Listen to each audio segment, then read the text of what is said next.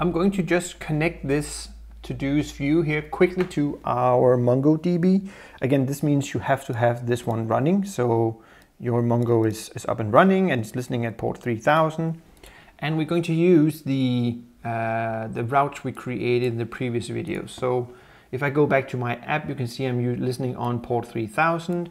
I'm going into routes and to-dos. So basically what we did with Postman is just restarted because it updated. So uh, I'm just gonna get one post if it still works. So you can see here, right? This HTTP localhost 3000 to-dos without the new one. So send, see if it works. And we made an, an error because post, I'm supposed to, I'm doing a get, whoopsie daisy. So let's do a get and then we get our information, right? So I know this path here will work. So this is the one I'm gonna use. In my Visual Studio, I'm just gonna close this one down again and go back to my to-dos here. So I'm just gonna reuse what I have here. I'm still gonna use reactive for this one. You can also use, if you wanna use prefer refs, uh, I can't really explain what's better than the other. I guess this somebody smarter than me can do this uh, online somewhere. Uh, it's just supposed to be one is for multiple and one is for primitive values and so on, but you, you should probably just Google this. Uh, but anyway, I'm going to use reactive in this in this scenario here to test it. So instead of calling this test, I'm going to switch it to state uh, since it's uh, in my mind it's like sort of view x here and I'm going to create something called to-dos in here where I'm going to create or use a uh, an object where I'm going to push in my author name and uh, author and the to-do one right we have here. So here, of course, instead of returning test, so it's opened or exposed to the HTML so we can actually use it. So I'm just going to delete this up here. Um, but so we can use the HTML part or the template part, we need to expose it. So that's the first part of this we need. The next one is we need to create a function that is going to grab the information from online. I'm just standardly, because this is sort of like vanilla JavaScript, the way I'm going to do the first one here. So I'm just going to create a very standard function called get all. And in this one, I'm going to use the, um, the fetch, there we go, there we go, fetch for grabbing like I did in the previous ones Oh, that's not true. I think I don't think I've used this yet. Uh, but anyway, so if you wanted to use Axios, you can. Uh, that's fine. But I'm, I'm just going to use fetch for this one because I think it's just, just as good. So I'm going to grab the link from here. So localhost 3000 to-dos, put this in my fetch here. And before you do this, remember to put it in quotation so we make it a string so we can read it. And then I'm going to use some different promises to, whoops, if you type it correctly, to when we get the data. So this is standard from whatever you've seen from anybody else basically. So we have the data, if it resolved, then we save the response. Oops, Uh, do it correctly and use the function arrow. And as before, we use the JSON uh, method here that takes everything that is being collected. So we take all this information and store this here in res. If that promise is resolved, then we I'm going to call this data. Uh, so I'm not going to call it the same as the other one, which would be weird.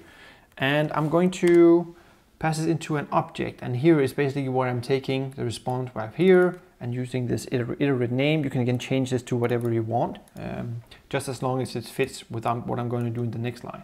So this is where I'm going to tell it where to store the data. And I want you to store it in my constant up here, so in the state. So for it to put each of my uh, these one in here right now I only have one right? So this object here I want this to be passed into this to do here. So I'm going to do state to grab that one first and then to do's so this is where I wanted to store it and then I need to tell it what do I want to store which is basically the data I'm being passed in here so right? Grab information. If this is resolved then you take the response you have uh, and if this is true, if it's as containing data, if there's no errors and so on, I'm taking or reusing the iterative name of, of data.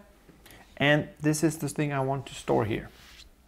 So once I once this is run through, hopefully this data will be stored in this one here.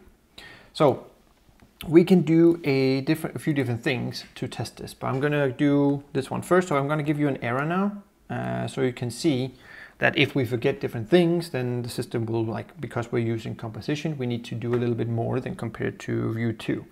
So here it says get all is defined but never used, which is fine because we're not using it anywhere, right?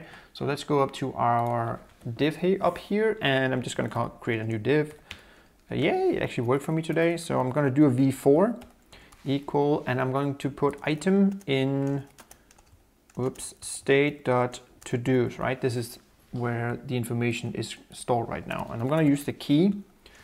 And what my key will be, just key, and then in this case, uh, author. Author name, that's, uh, I should do the ID, but I'm not going to do it right now. Uh, and in here, I'm just going to do a, let's do an H4. Whoops. If it actually want to help me, it doesn't because I don't know why. H42, cool.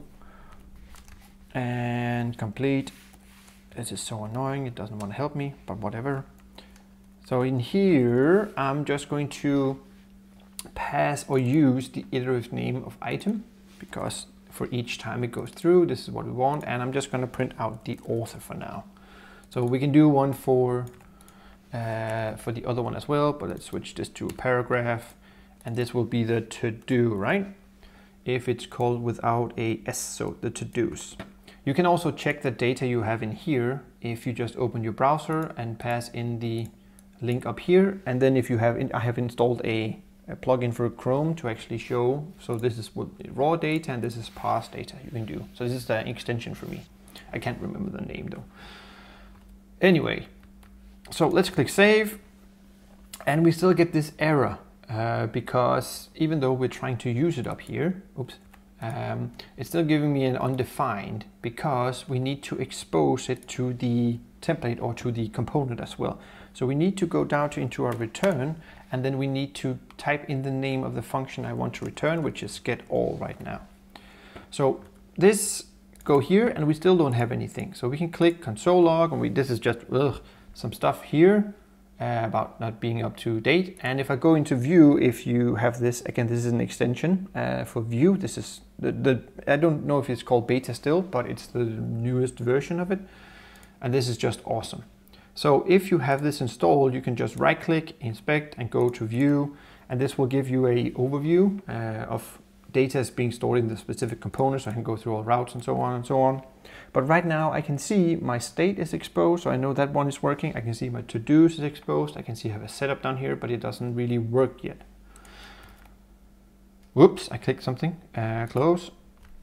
Oh, uh, in here as well, you can see I have this sort of just get all all, right? This indicates it's a function, but it's not really being fired right now. So we need to tell the system, because I created it like this, that this function has to be fired.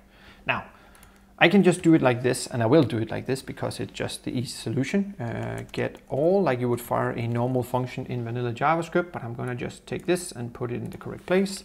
So outside here, uh, nope, this was correct. I forgot it was in there.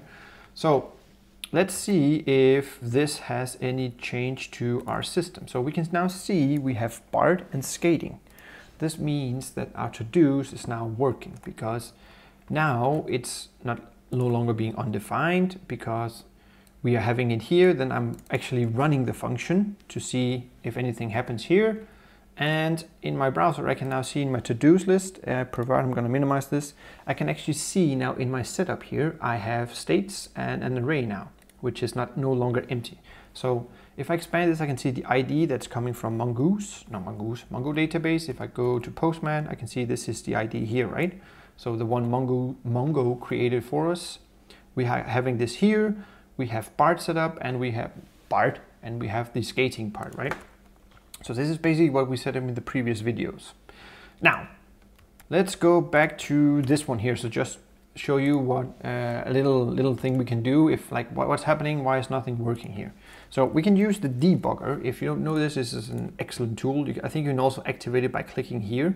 Uh, and you can also activate it straight into the uh, into the, the, the, browser here.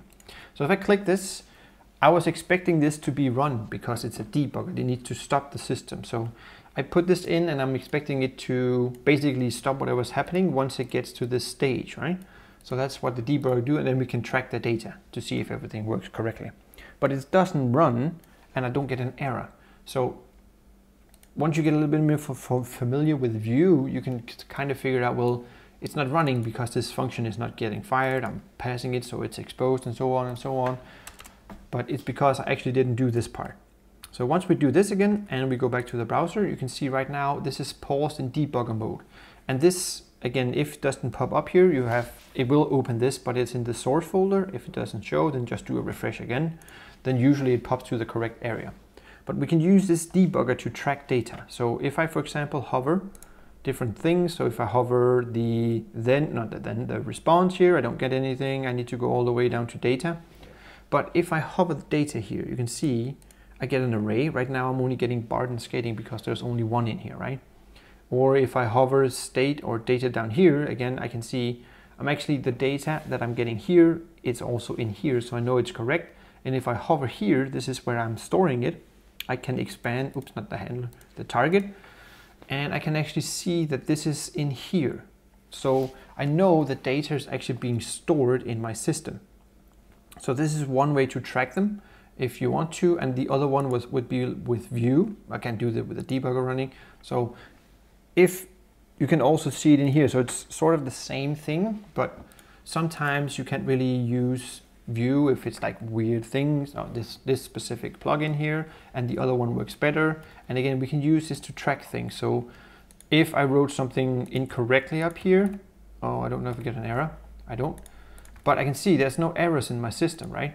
But I'm not getting the actual information uh, right now, even though it says, ooh, I got the stuff here, blah, blah, blah and then usually you could would go like where's my error? And then you would do use debugger and eventually and hopefully you will figure out that is this point here that uh, that is the issue not the actual code down here. Just a quick little extra thing for this one. I just want to show the the onMounted part as well. So I just remove the get all here. If you want to use some of the lifecycle hooks you can. You can just import them up here and the, and the one I want to use is onMounted uh, like this one. Ooh, just added too much. So let's just revert to this one. So here, now I'm able to use the onMounted lifecycle hook. And there's like onMounted, onUpdated, and so on and so on. Just before, I'll make sure that this is inside the setup here. So setup starts here and here. So before the return, I'm going to use my onMounted. And it looks like this when I want to use it like this. Don't remove this here.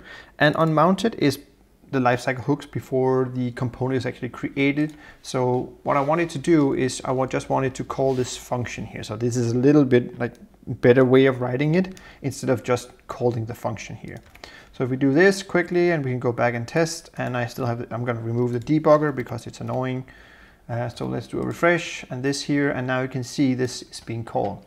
I could do a little like console login here if I wanted so you can see where it actually is, but it's one of the lifecycle hooks we can use.